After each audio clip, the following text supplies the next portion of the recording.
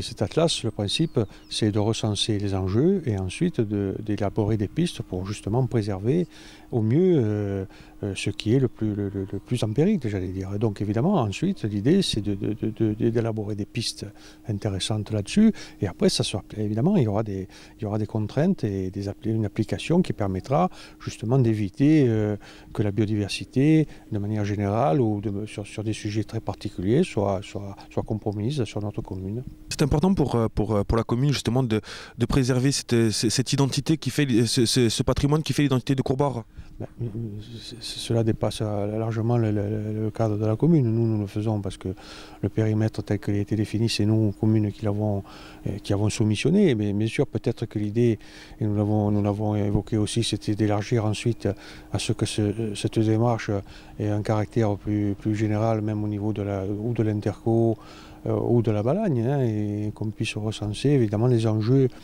à ce niveau-là. D'autres démarches sont en cours hein, à ce niveau-là, mais ça, je pense que cet atlas-là permet d'avoir un inventaire précis qui va recueillir un peu tout ce qui a déjà été fait euh, sur la commune, hein, par, aussi bien le conservatoire botanique euh, que le conservatoire du littoral ou d'autres études de, chercheurs de manière plus, plus individuelle soient rassemblées dans un document qui permettent de dégager vraiment euh, les enjeux et surtout les pistes qui, qui, aura, hein, que, que, dégagera cet atlas pour justement des actions hein, qui permettront de mieux, de mieux protéger la biodiversité et notre environnement.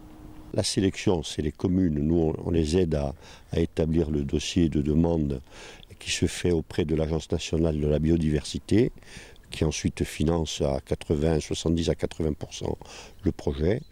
Et elle est retenue au niveau national selon des critères qui leur sont propres. Mais je peux vous dire qu'en Corse, il n'y a eu que trois communes qui ont été retenues et il y en a à peu près une quinzaine au niveau national.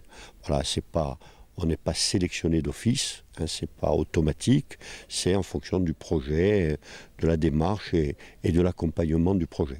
Quelles vont être les actions sur le terrain pour la constitution de cet, atlas? Alors il y a une première phase de recueil de données parce qu'il y a déjà euh, plusieurs structures scientifiques qui ont déjà travaillé euh, sur le territoire de la commune. Donc l'idée c'est de faire une synthèse des, connaissances qui sont déjà existantes. Donc euh, cette synthèse va nous permettre de faire un premier bilan, un premier point.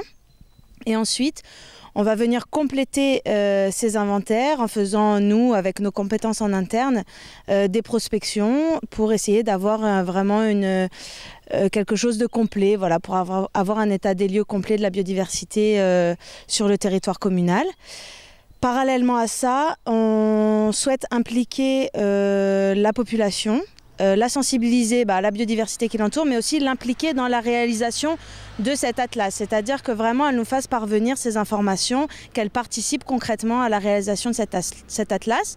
Donc on va faire euh, des réunions publiques euh, également une manifestation qui se tiendra au mois de juin, qui s'appellera les 24 heures de la biodiversité, où là les habitants sont conviés à venir participer à la collecte de données avec des euh, scientifiques, des curieux, voilà. Euh, c'est à peu près toutes les actions. Ensuite, euh, à l'automne, on fera un bilan de tous les inventaires qui ont été faits et des, connaissances antérieures que l'on a pour vraiment analyser, essayer de donner à la commune les clés pour mieux comprendre euh, ce qui se passe sur le territoire.